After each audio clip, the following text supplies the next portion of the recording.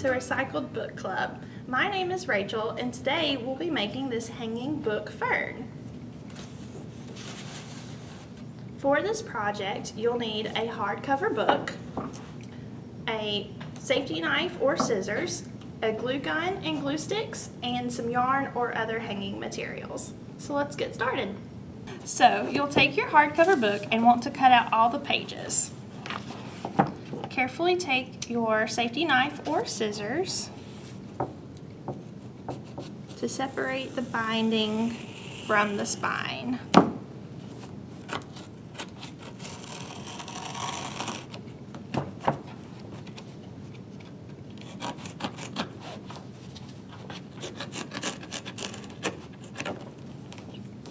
on both sides.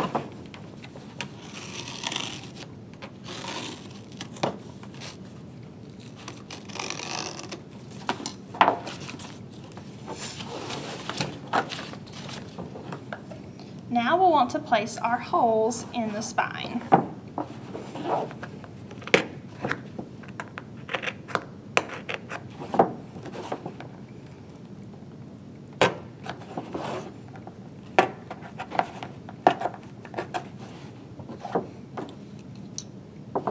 And measure out some ribbon or other hanging material.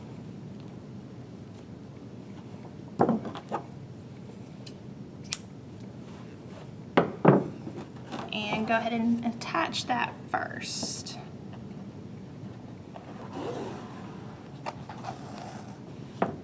Now you can either put your knot on the inside where it won't be shown here or you can knot it on the outside. That part is completely up to you.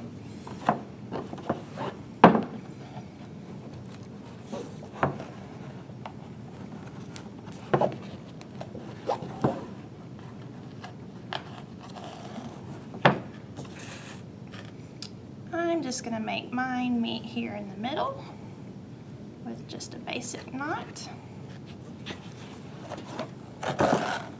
And then I can adjust my length later here on the outside if I need to. So now we've got our book laid open like this. We're going to take the insides that we cut out and separate them from the binding.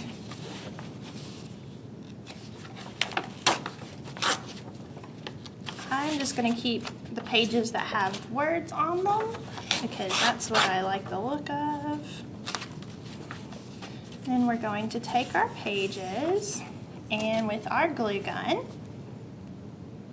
put a thin strip along one edge to fold over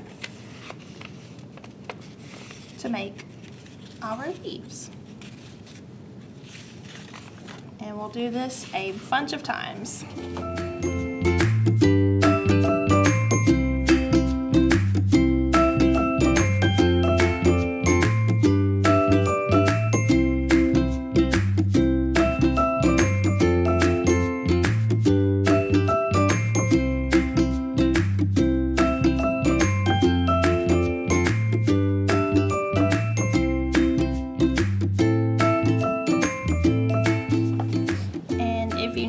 Notice, it's not even super important that you get to the edges of each page because once you have a little bit of glue on there, the hot glue is going to keep it together. And then once we've folded and put, placed our leaves next to each other, they'll help keep each other connected. And your folding doesn't even have to be precise either. Just make sure you're not creasing the fluffy part of our leaf. So now that we've got a good stack here, we can start placing. I found it easiest to work from the outside of the book to the spine and then from this side back into the spine here. Now we're going to do a strip of glue on the edge and just place it in there. Now it's completely up to you if you want to have all of your words go the same way or have them crisscross each other. Um, that is a complete style choice that you get to decide on. And the leaves don't have to be super close to each other either. Just a little bit of overlap is perfect.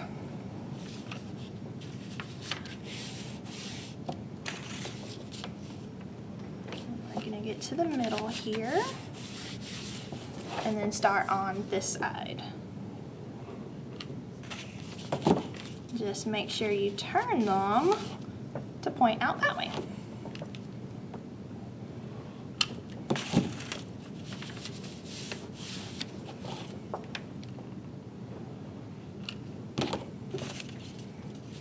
Now if you want a really full book, you can have your leaves closer together.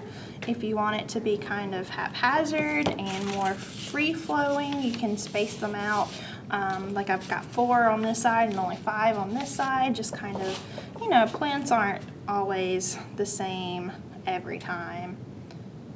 And then we're going to get some leaves a little closer here to bridge this spine gap.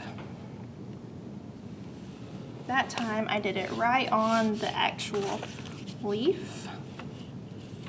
So that it got really close. And then I'm going to do it again on the actual leaf. And turn it this way to bridge that box, that middle part spine Now you can see, we already have a little bit of a fern.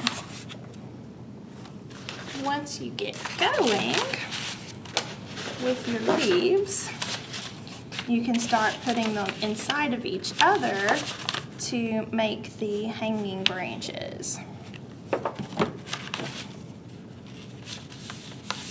And then you can zigzag them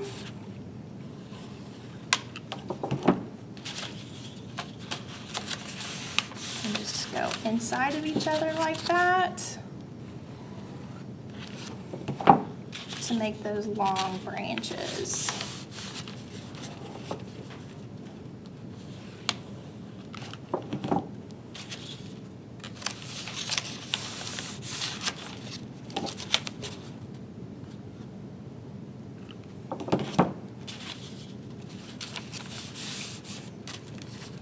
And do be mindful because you're only going to want maybe two to three actual branches and maybe a few short ones on the edge because once you hang it, they'll come together to form the whole fern.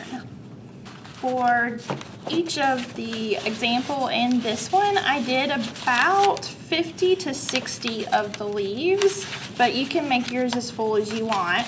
I would make sure you hang it, hold it up to see how it's hanging every once in a while because the glue is going to dry really fast. You're not going to have to wait on this to dry or anything. And there we have it.